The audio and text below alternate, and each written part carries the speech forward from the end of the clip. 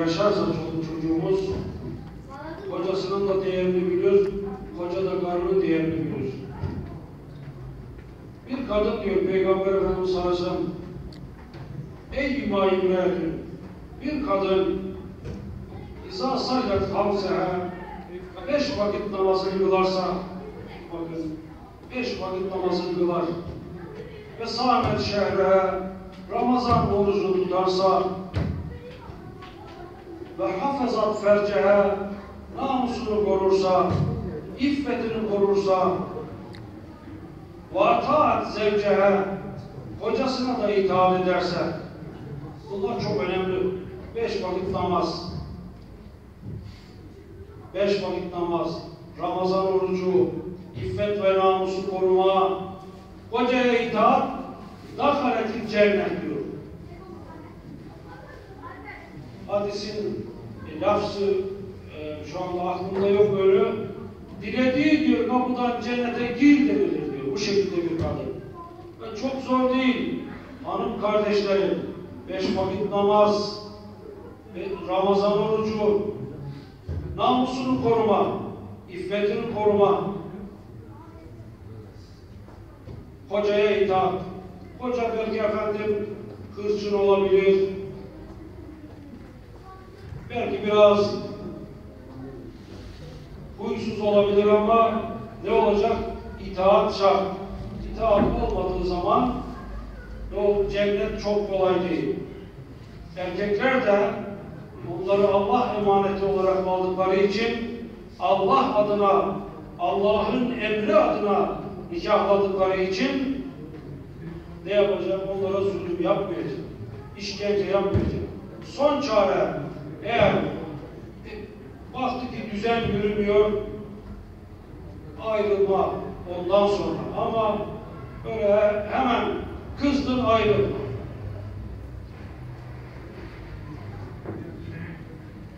Başka hatta kadının hiçbir suçu yok adam kızıyor hemen şart ediyor. Şart bugün gençlerin arasında o kadar yok. Ama o niyette dese ki hanımına babanın evine gitti sen ben seni istemiyorum dese eğer bu sözü onu korkutmak için veya terbiye için olursa bir şey değil. Ama boşanmak kastıyla ben seni istemiyorum git babanın evine dese bakın nikahına helal gelmiş olur.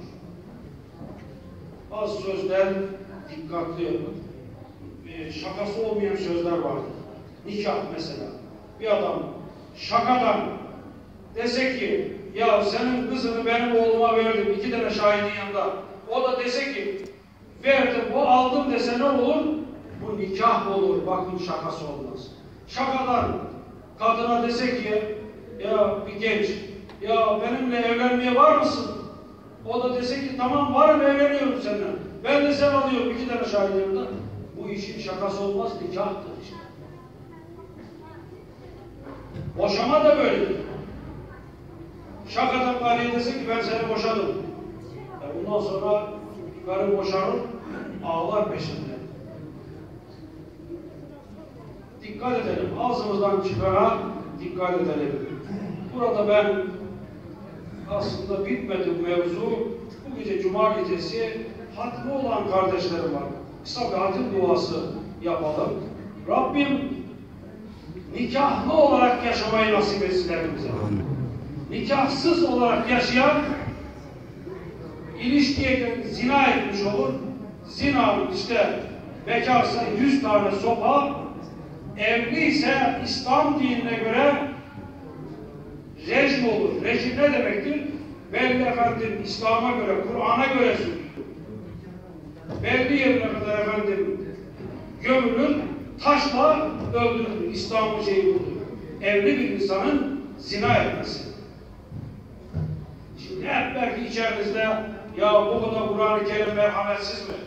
Haşa Allah. İslam temizlik dini. Bakın bu böyle efendim caydırıcı olmadığı için suç olmadığı için zina bugün çok ne oluyor? Yuvalar yıkılıyor.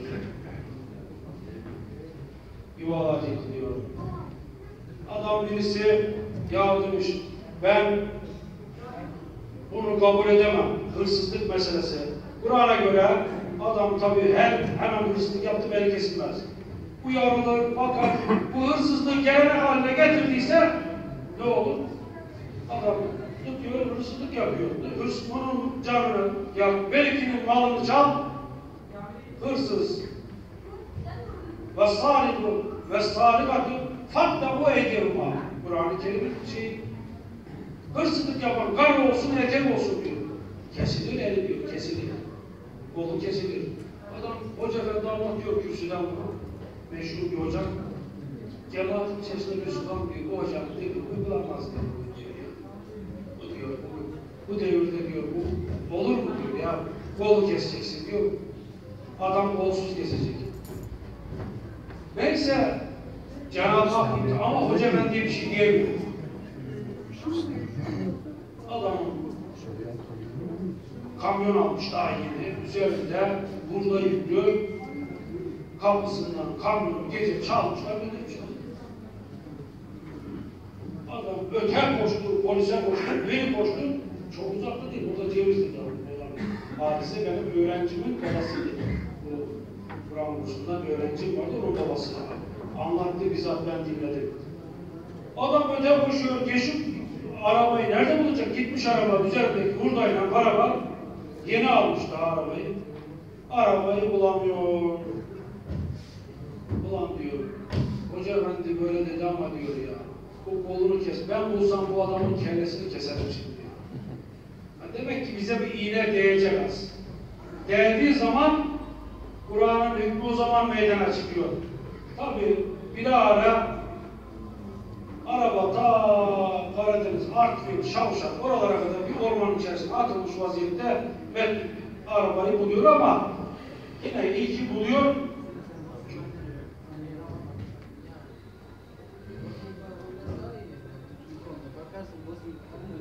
Evet, demek ki Cenab-ı Hak hiç haksız yere bir şey yazmamıştır Kur'an-ı Kerim'de. Mutlaka bir hikmeti vardır. Kur'an-ı Kerim'i alalım inceleyelim.